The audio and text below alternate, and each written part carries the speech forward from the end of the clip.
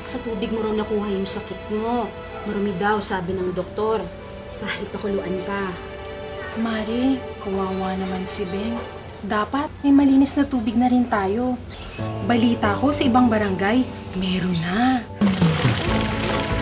Ang sarap maligo! Ang lamig! Ang anak mo ha, hindi maawat sa pagligo. Sigurado ta ako na malinis ang inamin namin. Oh, di ba may resulta?